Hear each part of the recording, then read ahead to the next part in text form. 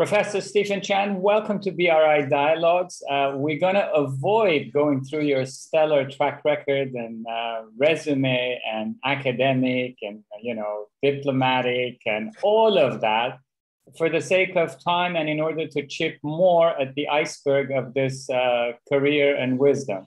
So we're delighted to have you with us. And uh, Anush and I wanted to welcome you. So is Gia, our intern at Durham University. And um, we, we want to roll in, in a complex world and with everything that is happening. And maybe it would be good to open with a question with the United Nations General Assembly and your thoughts on the global state of affairs and what keeps you hopeful and what keeps you worried about this world we're living in. Well, just about everything keeps me worried. But in fact, I think there have been a number of diplomatic signals being made at the UN General Assembly right now.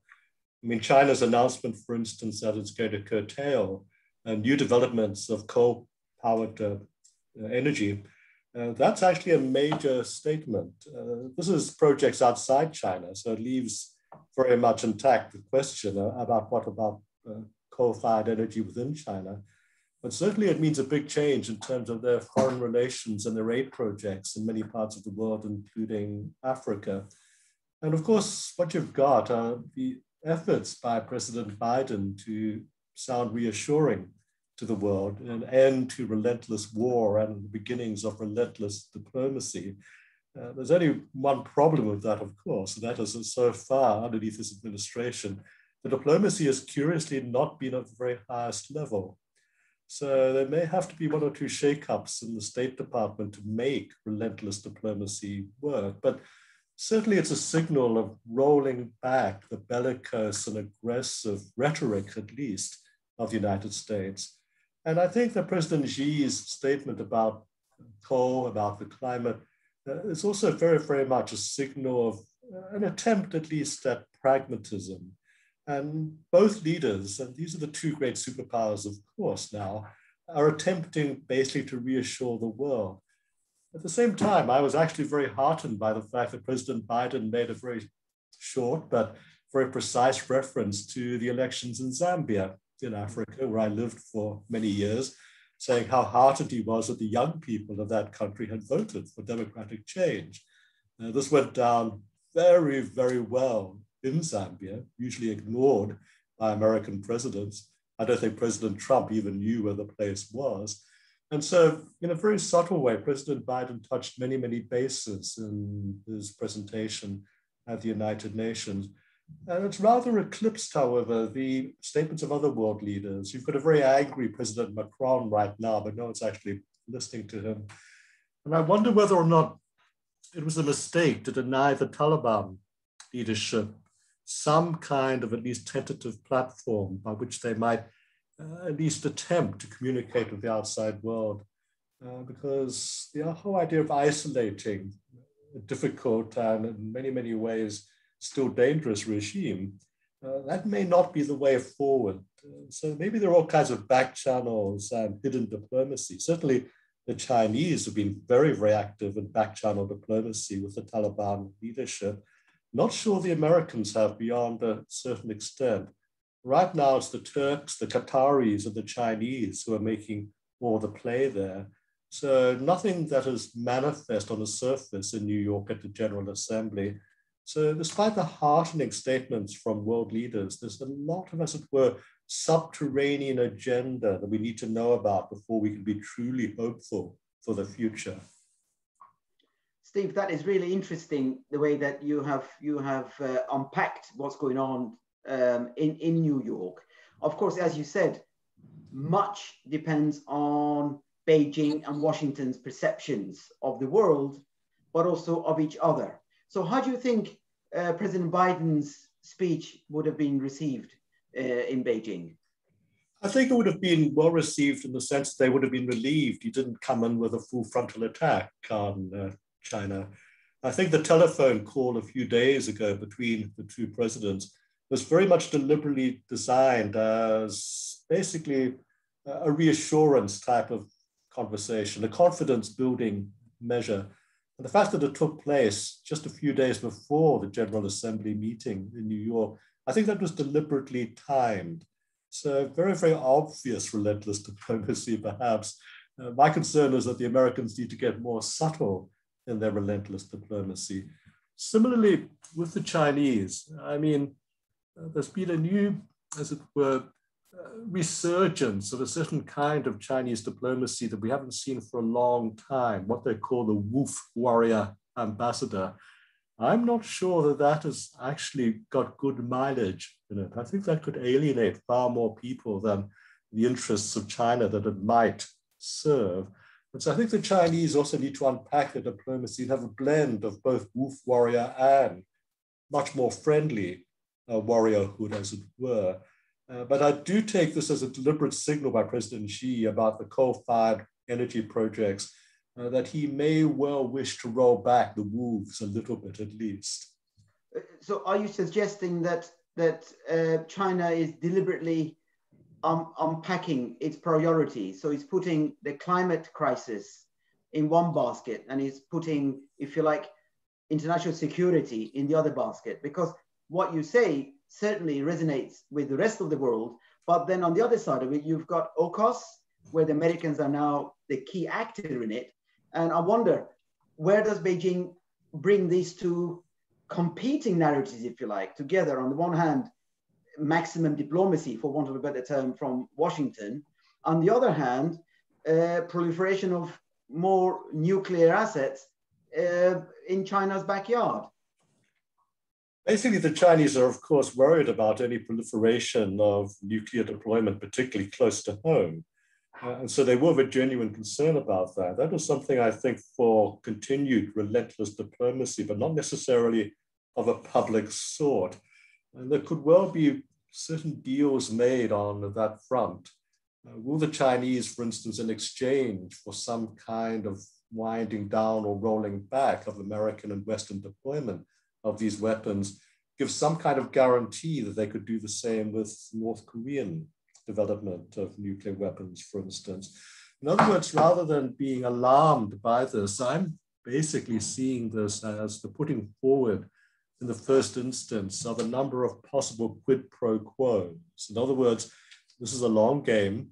It's going to be played out very, very gently but I think that both countries want to say, okay, look, uh, you can get a glimpse of what our negotiating position is likely to be. You give us something and we might be able to give you something. So tentative, the two leaders certainly need to get to know each other a lot better. There's all kinds of unresolved issues, uh, such as electronic malware or whatever, the whole Huawei sort of uh, way of doing things. I mean, one of the signals that Biden and America could send to China is the sudden and mysterious, diplomatically as we're camouflaged, a dropping of charges against the Huawei chief executive, who's underneath a form of rather luxurious, I might say, house arrest in Canada right now. Something simple like that to try to signal that maybe deals can be made in other words, we're not going to have trumpets sounding at any time in the next five years or so about, oh, breakthrough world peace is here at last. There'll be a number of backroom deals, side deals that all the same, when you look at the results closely, might signal, at least in part, a slightly, as it were, safer world in which all of us can live. But I mean, your point about Biden, Xi, America, China, this leaves the Europeans for dead, and it certainly leaves the British for dead. We don't figure anymore. And curiously, the diplomacy of what you would have regarded as side players like Turkey uh, is starting to pay some kind of dividend, not as much as they would like, of course. Uh, but for me, the surprise emergence has just been that the superb, uh, very subtle diplomacy of the Qataris. Uh, who would have thought that a tiny country like that uh, could basically punch above its diplomatic weight uh, so superbly. And I'm very heartened by that because the Taliban were in exile in Qatar for quite a number of years. And they would have been dealing with someone I know very, very well, the deputy foreign minister of Qatar, who's a woman, LSE trained, uh, very, very, as it were, aware of Western ways and customs, but all the same, totally accepted within their own society. That kind of example setting, no loud beating of drums, but just setting an example, that kind of quiet diplomacy, good officers diplomacy. Qataris have been more than impressive on that front. So I think that two great superpowers, but a number of quite surprising emerging, as it were, second echelon diplomatic powers might emerge from all of this. That's amazing the way you unpack it, Steve. Uh, talking about uh, back channel diplomacy, track two, track three, track four. Are we are we going to see that climate change becoming track five or track four and a half? Because without collaboration between the US and China, it's almost impossible to tackle or assume anything like net zero. And I want to share a figure with all three of you, and maybe Gia and the team at Durham have to challenge me. But I did a Google search on the shorelines of China, Steve. It's 14,500 kilometers. I did a Google search on US shorelines, west and east coast. It came to 154,000 kilometers. I was shocked. And on both coasts, you have the tech hub in Silicon Valley and the financial hub in the you know eastern coast. Is there a, a, a menu a la carte type of thing on climate change between China and US that US says, China, I want you to collaborate on net zero, but on everything else, I'll still try to challenge you. What are your thoughts on that track four and a half diplomacy? Well, I don't think it's going to go down the scale quite as far as track four and a half. It's going to hover somewhere between track one and track two. Uh, what I, uh, to the chagrin of my conflict resolution colleagues, uh, describe as track one and a half. There's an awful lot of track one and a half diplomacy in the world uh, right now. I mean, a lot of my own involvements you would probably describe as track one and a half. They're completely deniable by track one, uh, thank goodness and at the same time, still with an international civil society perspective very, very much in mind. And I think bringing in international civil society insofar as it's very much concerned about climate change, uh, that is going to be the way forward. Uh, the development of new protocols, building on existing protocols, but not just grand sweeping uh, climate change treaties, but the fine print which might give way to sub treaties on specific forms of energy generation, on specific forms of uh, carbon offsetting, you know, all of those kinds of things. In other words, when we say that the devil's in the detail, that might be never so true as in the case of climate change. And that will take some skillful diplomacy. Now, in fact, curiously, the environmental lobby internationally is very, very well set up. They need the ginger groups like Extinction uh, Rebellion half my students, I'm sure yours too, seem to belong to Extinction Rebellion, and I give them full permission to skip lectures to go off and attend the big demonstrations. Uh, I'm quite prepared to come down and bail them out of police cells if necessary afterwards. But there's a feeding chain here. Uh, you need to have the crazies, the radicals, and you know, all of us were crazy and young radicals and street fighting men and women at one point in time. So the new generation is picking up that baton but there's a feeding change from the young crazies to civil society in an organized, decorous, but all the same forceful way, through to efforts to establish a formal track one apparatus. Now, John Kerry in the United States has not gotten his show off the ground as yet. And that surprises me because I think he was an extremely good Secretary of State you know, you couldn't have had anyone better given the circumstances of that particular day. And so what I'm thinking is that no one's actually giving him the support that he needs to get his show as environmental secretary up and running, which basically points the finger, I think, to Biden himself. You know, why is this not being prioritized more aggressively in the Biden administration? There's someone with the skills and the gravitas uh, of John Kerry just being used as a cosmetic symbol. So there has to be a very, very close look at this formal side of things at the very highest track one level. And I'm not really sure uh, to whom Kerry is reaching out in international environment or civil society. In other words, I don't get any signal he's trying to cultivate at this stage, a track one and a half. But I think he's going to have to do this to make it work. Uh, I think there again, over the next year, we're going to see some very interesting close quarter diplomacy that will be hard to detect at first, but which could make a considerable difference in terms of these small scale specific issue environmental sub-treaties as I described them in the future. So actually following up from what Ali just asked you, Steve, so do you, do you hold much hope for success in Glasgow following COP26, or do you see that as much more of a cosmetic uh, window dressing to the problems that we face? That's going to be largely cosmetic. Um, the Chinese have already fired their big gun uh, that they've got right now. That doesn't actually cost them very much. It's just winding down a few overseas coal-fired sort of energy projects. It's very much a big gun that's essentially a big signal more than anything truly substantive. The substantive work would have to take place, as I said, in China itself. Uh, but no one is going to be able to come uh, to Glasgow with a major announcement. In other words, you're not going to get a major announcement from the Americans of a, a sudden leap towards solar powered energy, for instance.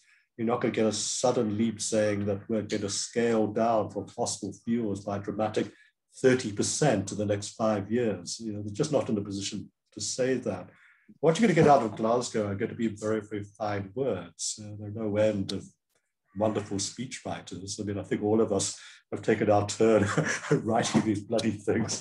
uh, but you are going to get, I think, the beginnings of all kinds of diplomatic channels which can take things forward for the future. So nothing substantive in Glasgow, fine words, but hopefully the beginnings of some kind of methodologies by which these issues in their complexity can be addressed. Nothing complex in Glasgow. It's going to be fine general statements, fine general targets, which no one is ever going to be able to meet. Uh, the devil, as I said, is going to be in the detail. Very, very important We only have one ecology, we only have one environment. And you know, that's actually in actual grave danger. I believe my students, uh, they present their data to me, the Extinction Rebellion data, a lot of it is an element, of course, of over egging the data that they've got. But the core of it is that we are basically entering an environmental crisis. So I think that slowly this is dawning on even the most conservative world leader you were talking about diplomatic efforts and diplomacy. A while back, I was on a call with David Miliband on a group Zoom call, and I used the word diplomacy as everything being in a state of mess. And so, so where does in this world of ever-changing Rubik cube, uh, fast or interchanging facades, as we're seeing with AUKUS as well, what is the significance of Belt Road Initiative, Steve, in this ever-changing world. How would it fit into climate change into you know development of infrastructure in africa and middle east and levant and in many of these war-torn economies along the way? Well this is where the chinese announcement uh, about uh, rolling back uh, coal-fired uh, energy production is very interesting because it's immediately going to throw into question a whole lot of projected developments along the Belt and Road Initiative, uh, both in terms of the literal Belt and Road going across Transcaucasia, and then in terms of the wider ramifications of Belt and Road. Let me just shut my window a bit. I've got a lawnmower outside. Uh, the wider Belt and Road uh, diplomatic and foreign aid initiative of the Chinese and many, many countries that is not joined up like the physical Belt and Road across Transcaucasia. It means a reconfiguration of many of the energy projects contained in those initiatives. Uh, whether or not they're going to, those new initiatives, suddenly substitute clean power, uh, you know, hydroelectric power, electric power that is generated from um, solar sources, for instance, the only problem with that is that the state of technology so far is such that if you're going to build a giant solar powered energy generation station, uh, it's going to cost more uh, than an old fashioned coal fire powered station because the technology to generate mega amounts of power economically, you know, after all, a poor country's got to operate this power station. And learning how to do that with complex technology to generate that amount of power. All of those are questions which need to be addressed. And of course, environmental crisis has meant there's no reliability in terms of hydroelectric generation. And a huge controversy around the Ethiopian dam that's going to dam up uh, you know, significant waters in the Nile River and the distress that this is causing the downstream neighbors. It shows that even with something that's meant to be clean, and you can't get much cleaner than hydroelectric power, has all kinds of problems for development. And of course, almost all of the big rivers that can generate a huge amount of energy flow through many different countries. And so there's always going to be a knock on effect. How the Chinese will deal with that is again another question, because there's no doubt about it. Despite all of these questions, the Belt and Road Initiative and all of its many manifestations uh, is the big, big, it's the big scene in global development. No one else is putting this amount of effort for good or for bad, but this amount of effort into development projects, this kind of magnitude, which will have this kind of difference making effect in so many different countries. Of course, the Chinese hope to gain advantage from it, and they play a very, very long game, game of very great patience, for instance. Uh, but the idea that there will be benefit for the recipients, that's very, very true.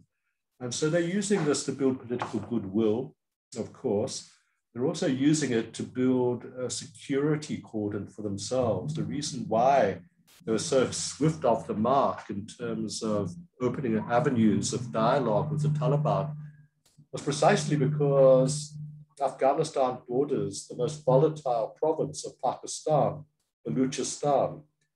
And the connection between the overland Belt and Road and the maritime Silken Road means you've got to have at least three railway bridgeheads from southern China through Pakistan to the Pakistani coast.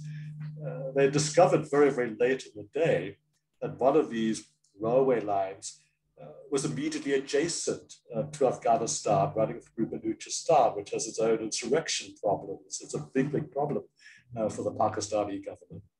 and of course, if there's going to be cross border traffic uh, of a militant sort, uh, this threatens to hold the hostage this particular branch of the literal Belt and Road. So one of the things the Chinese are doing in their outreach to the Taliban is actually to protect their Belt and Road initiative. And no one seems to have cottoned on to this uh, as yet, but that's basically a very great deal of Chinese self-interest at heart, their very pragmatic move. At the same time, and again, I don't think this is fully appreciated. The Taliban leadership is very much divided, of course, between those who are in exile in largely Qatar, uh, the inzals who stayed and fought. Uh, they've got much more radical views, those who stayed and fought, those who were exposed to a more worldly environment in a place like Qatar. Uh, were prepared to negotiate uh, more, uh, for instance. Uh, so the Chinese worked on them But this is why you've got this confusion in Afghanistan right now. Women will still be allowed to go to university, although in segregated classes. Okay. But women right now are not going to be allowed to go to school. And this is an exact representation of the cleavage in the Taliban leadership. The Inzals won for now on the school front. The exiles won on the university front, but no one seems to know that the Chinese put a lot of pressure on the exile Taliban leadership. For goodness sake, let the women stay in university. And this is something which I think is a real social accomplishment on the part of the Chinese. Sure, they've got their own interests in mind, but this is going to be of huge relief to a vast segment of the Afghanistani female population.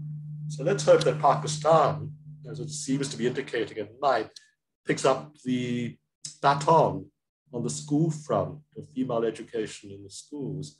If Pakistan and China can do a joint act on this, that'd be great. And of course, all of this will benefit relationships between the two countries, China and Pakistan, benefit the Belt and Road, particularly the links between the overland and the maritime Belt and Road.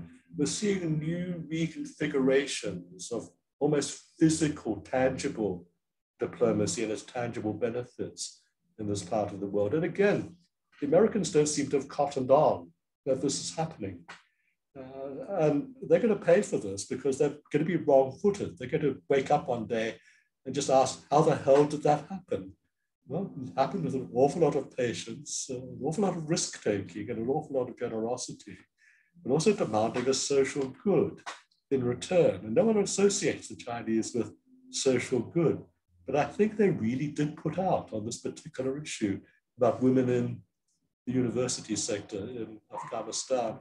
So the Belt and Road carries with it all kinds of hidden implications which can be quite surprising. I've labeled this particular example that there will be social benefits throughout all of the countries in which these developmental initiatives are fielded. So I actually see more positive merit in the Belt and Road than alarm bells. The Americans, of course, are full of alarm bells. Some of them are justified, but by and large, I think there's great benefit to be gained from some of these projects. Steve, you, you've, you've masterfully covered a tremendous uh, range of issues, but with tremendous insight at the same time. I was going to ask uh, your, your thoughts on the post-pandemic world, and it relates very much to what you've, you've just articulated. Of course, you know, in the post-pandemic world, we seem to be obsessed with supply chains and value chains. And in that context, of course, the BRI becomes quite a unique uh, creature. Given what you've just said in terms of the way that, that, that China is strategizing about Eurasia and, and Transcaucasus and so on. So does the Belt and Road Initiative in that context becomes first more of a strategic feature of China's Eurasian strategy, for want of a better term, and I have a uh, subsidiary to that, and that is so in many ways, China seems to be creating its whole new world of supply chains because Afghanistan stability affects Pakistan, Iran, Tajikistan, India, Uzbekistan, Turkmenistan, the Persian Gulf countries. It has so much bigger aspect to it that you've only just begun to touch on. But, but I would like to hear uh, your views further because you obviously have done a great deal of thinking about this. Well, in terms of supply chains, if I can just digress from Transcaucasia for a minute, but I'll come back to it uh, in terms of your question. What's actually been impressive in terms of the Chinese attempt to address the international pandemic has been its rollout of the Sinovac uh, vaccine. Um, there's been a, believe it or not, the most successful vaccination program in Africa to date was in Zimbabwe, uh, but that was courtesy of a huge number of donations of Sinovac vaccines to Zimbabwe. Uh, so for better or for worse, you've not exactly got the world's most progressive government in Zimbabwe right now. So some people would think that you know this is a diplomacy that supports a malign regime. But the people of Zimbabwe are not going to be dying in droves like they have been in the neighboring country of Zambia, where I've lost friends, personal friends, uh, to COVID. The big test will be, and I think it's the French who are picking up the baton here, uh, can we actually get vaccine manufacture up and running in Africa itself? There's no reason why this can't happen, particularly in a country like South Africa. In fact, it's scandalous that the ANC leadership never realized they should be doing this in all of the years of majority rule. So there'll be a competition here to roll out benefits, but the Chinese have shown the way in this particular supply chain provision at a very, very difficult moment for many countries. Now, in terms of the international, as it were, supply chain, what you're going to have, particularly in terms of Transcaucasia, you're going to have a bit of a competition, which is going to require constant diplomatic negotiation over influence and spheres of influence in Transcaucasia. The Turks want in, uh, because of course, many of these countries are Turkic uh, speaking. Some of them were in fact part of the outreach of the old Ottoman Empire, uh, for instance. President Erdogan is basically a, a, a closet Ottoman uh, Pasha, uh, he makes no real bones about it. He has this imagination, but in fact, there's a genuine historical relationship in terms of Turkic-speaking uh, people, you know, Turkic-related languages. Uh, the Chinese, of course, regard a lot of this as their own sphere of influence, for instance. Uh, and it's in their backyard because, of course, you what you've got in uh, the Uyghur territories of Shah, you know, uh, very, very much people who speak a Turkic language and have an Islamic sort of uh, religion as part of that whole cultural affiliation. So cooperation between China and Turkey over issues that you might think are germane only to Transcaucasia are also issues that are going to be germane to the future internal security of China. Those two are going to have to come to some kind of deal about how to approach this. Similarly, and you can see this at work already, the good relationships, although they can be strained from time to time between Turkey and Iran. How are they going to divide up uh, Transcaucasia as you edge closer and closer to the Mediterranean and the Gulf end uh, of things? And the literal Belt and Road is going to pass through an awful lot of this. Everyone points to the old Silk Road as being the forerunner.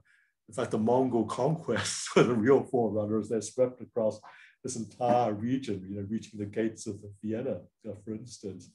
And uh, that's what the West is worried about, not the kind of benefits the old Silk Road brought, but about the lack of benefit to Western civilizations that the Mongol invasions brought. There's going to be a local competition based largely on diplomatic efforts, nuanced perhaps, hopefully nuanced, between, I think, those three great powers, Turkey, Iran, and China for influence over various bits and pieces of the Transcaucasian physical Belt and Road. But the Chinese will be putting the technology. Let's hope it's clean technology. But when you look at the Chinese model, you know, it's not just a belt and a road. Uh, we basically in the West scuppered their similar project. It's almost like a trial project in the southern part of Democratic Republic of Congo. They were going to build a belt and road, as it were, across the southern part of a vast African country. And what they were going to do, uh, not only build the road, rail, telecommunications network, you know, you got, got everything all in one package, but they were going to build schools, hospitals, and wait for this, universities along the length of this Belt and Road. At one stroke, it would have joined up Southern Democratic Republic of Congo. At one stroke, would have made that tumultuous country governable.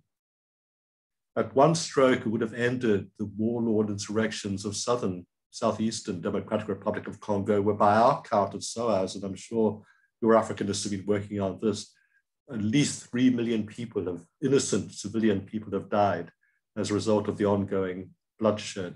You know, it would have started to put an end to all of this. And we scuppered it in the West because we were fearful of Chinese political influence in the region.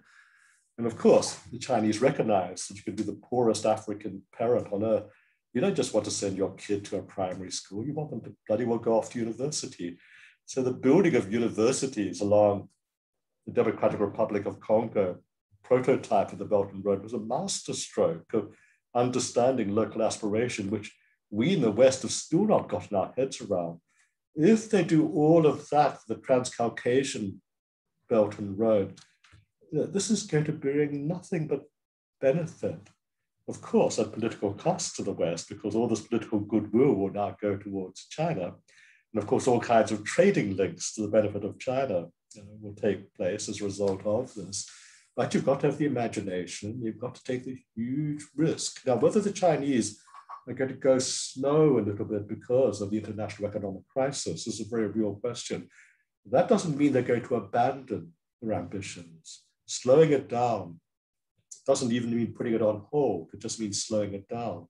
Within five years, we'll be up to full speed again because I think that this is part of a long term Chinese plan for economic benefit and, of course, political and diplomatic benefit to the Chinese posture which they see emerging in the world over the next five or 10 years.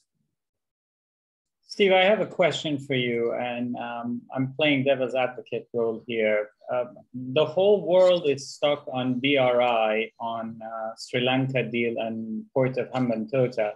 Yet you have disclosed so many elements in here. Is China suffering from inability, which I can't put my head around it, in better communicating its strategy along BRI? Or is this an intention to keep it quiet, keep it low key? And would China, in light of all this criticism, with everything you touched on, uh, just right now in case of Congo, would it be conducive for its you know, integration and posturing in the world to annually uh, release a BRI scorecard based on its own optics of where they have done great, where they have messed up, and preempt this. Would that be an approach you think, or would you recommend anything like that? I would recommend it. I, with all my heart, I would recommend it. Uh, just getting data out of the Chinese in terms of uh, the stage three trial test results of, of their Sinovac vaccine. Um, you know, we haven't been able to do something as simple as that.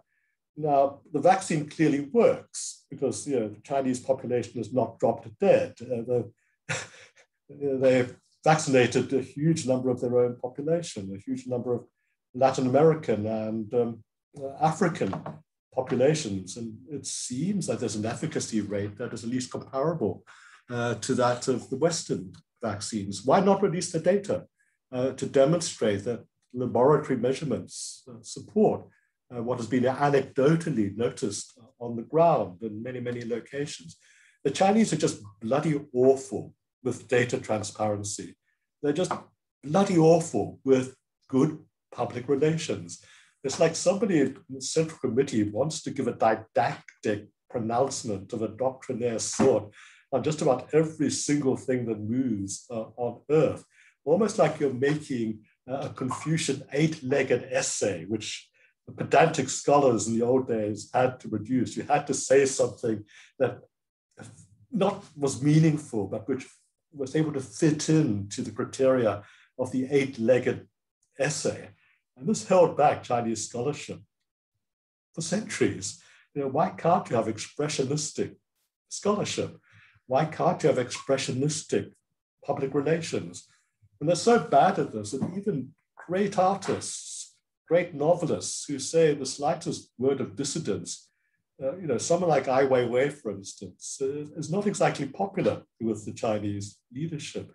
But the benefits of celebrating him in terms of public relations would be so much greater uh, than suffering any criticisms that he might make uh, from time to time.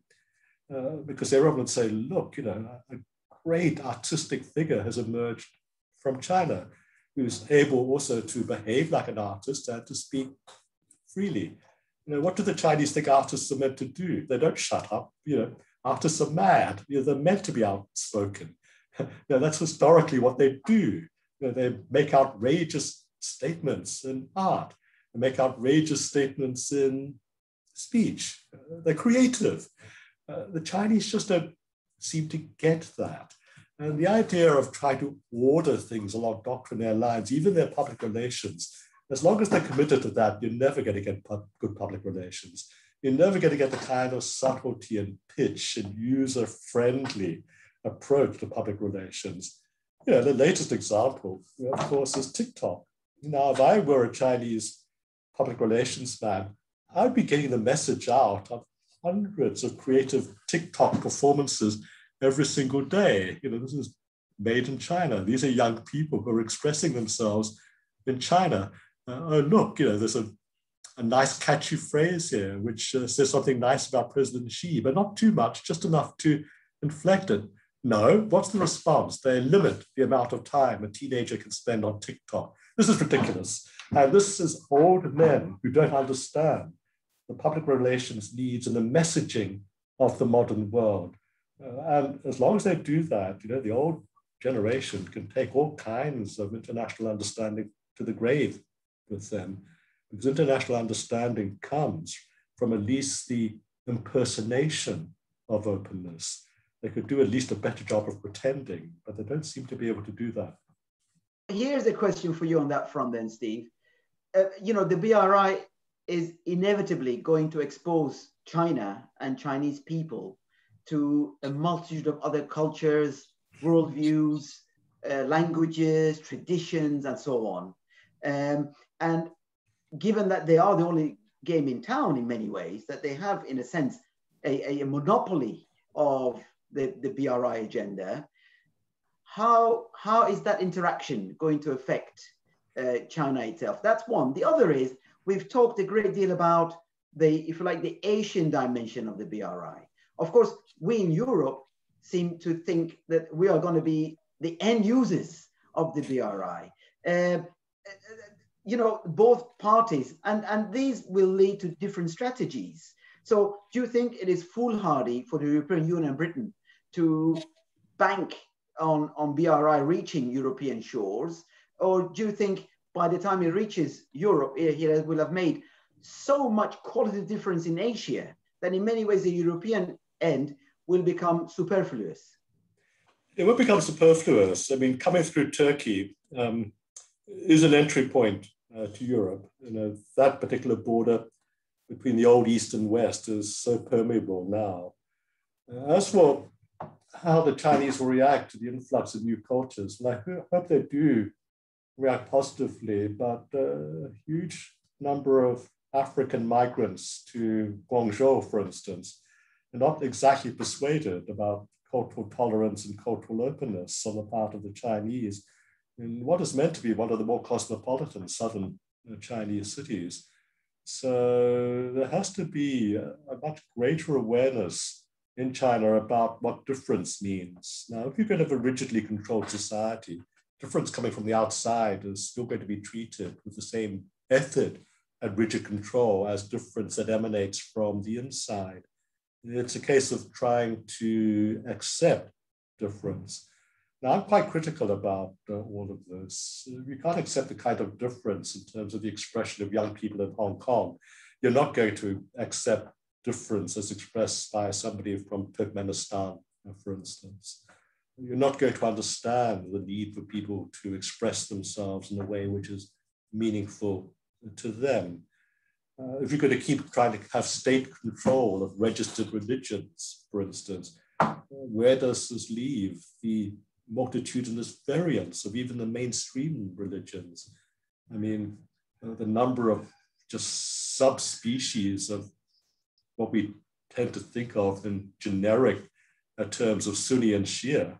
Uh, I mean, I've been teaching my students about this, you know, how many variants there can be uh, or trying not to be declared apostate, but the, the subtlety of belief. But what of these subtleties start intruding in a way that the state, as it were, religious organizers find difficult to understand. So all of these things need to be addressed. Now, I myself face these problems when I go to China. I haven't been for a little while uh, because I started to think it might be a little bit dangerous for me. I've been a bit critical, like I've been on your program, but always, I hope, in a constructive way. But Chinese people, I think I look Japanese. And when they are sure that I look Japanese, and I forgive them this, in Japan, they think I'm Japanese as well, then they talk behind my back about who is that bloody Japanese git who's just appeared at this conference or at this diplomatic gathering or, or whatever. Uh, I've had a whole succession of interpreters because I don't speak Mandarin, I only speak Cantonese, the southern language. So I had a whole string of um, interpreters coming up to me saying, Stephen, do you know what they're saying about you? And I said, actually, I, I don't, but I guarantee I can predict what it is that they're saying about me. So even someone who's Asian, East Asian, if that person comes across as a bit different, uh, is not going to get open arm uh, treatment. You've got to go through all kinds of tests to prove your bona fides. Now, a person who looks radically different, you know, Africans from the African continent with their own very, very significant and distinct habits, people from other parts of the world uh, with, let us say, the Aboriginal peoples of the South Pacific. Uh, how are they going to find uh, China? Is it going to be able to understand uh, their cultures, where they come from? Uh, indigenous Indians from the Amazon. Is anyone in China going to regard them as anything more than exotica if they turn up at a Chinese environmental conference that is serious about accommodating and giving representation to people directly affected by environmental change. All these huge questions, which we think would have simple answers, these are going to be things that are going to be very, very challenging for the very conservative Chinese leadership and the very conservative social mindset that has developed as a result of this kind of continuous oversight throughout all of the years of the Chinese Revolution. Steve, I think that what we have discussed today is so rich and so potent that we need definitely a second shot and a second dose. And we would love to have you back. But in spirit of time and bringing this into a closure, what would be your advice as somebody who knows that country better and far better than many of the observers, pundits, and writers and authors? What would be your two biggest pieces of advice to sinophobes and sinophiles? And in terms of bridging this gap, what would be your recommendation? Well, I have a very specific recommendation, and this is based on personal experience a number of the institutions in China that claim to be academic and think tank related and things like that are, nothing of the sort. You know, they're basically arms of the party and they're going to basically try to propagate a, a party line. Okay, but what else? Well, that includes the Ministry of Foreign Affairs, that includes the Chinese Academy of Social Sciences, uh, all the institutions that we as academics would normally deal with. What I was very greatly surprised by was the think tank that's attached to the State Council of the Chinese Prime Minister. Uh, they're really good. And this is because what you've got there in terms of their international section is a staffing not only of scholars, but former ambassadors. Uh, some of them very highly educated uh, former ambassadors. They've got PhDs and, and things like that they've been around, they've understood cultures because they've been posted in what many Chinese would regard as exotic and strange places. And this combination means that in the state council, at least they're provided with decent information. I would try to deal as much as possible with the think tank of the state council.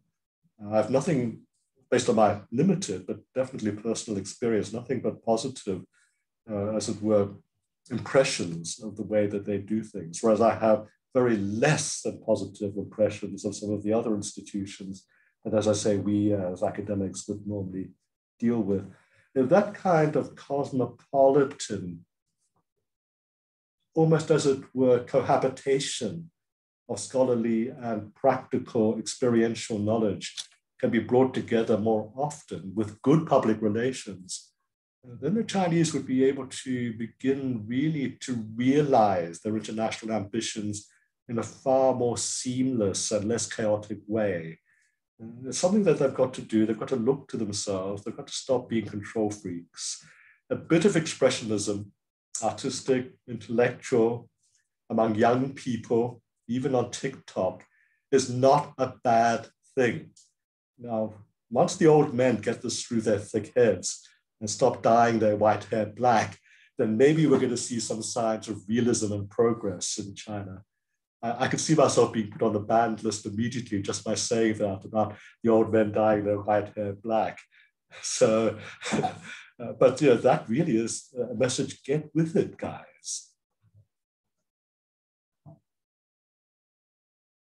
You, you're unlikely to be banned from our conversations, So so you, you, you should you'll have a comfortable home here.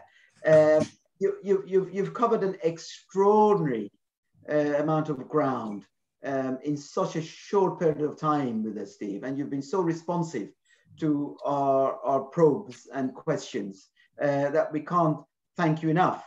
We, we would like to talk with you about Africa uh, on another, another occasion because you are unique in being able to reflect on China's footprint in sub-Saharan Africa, but also equally on Africa's take on China's presence in Africa. That's the bit that you mentioned in passing, but we obviously don't pay enough attention to it. Um, and, and that continent is close to your heart, as it should be to the rest of the world as well. So hopefully you will honor us by rejoining us uh, to talk much more concretely about what has China accomplished in Africa And I'd be what happy do to do African that. countries and African people think of China's presence uh, in Africa? That raises all sorts of questions about post-colonialism, about post-imperialism, about hegemony, all the issues that political scientists like to talk about. But you can bring all of that to a much more readily digestible set of issues that hopefully we can engage you with. I'm very happy to talk to you about exactly such issues. It would be a great pleasure. Thank you for joining us, Steve. We really, really enjoyed talking to you. No, you guys were good. I enjoyed the questions. Uh, let's do it again. And let's and feel free to edit uh, my responses today in any which way that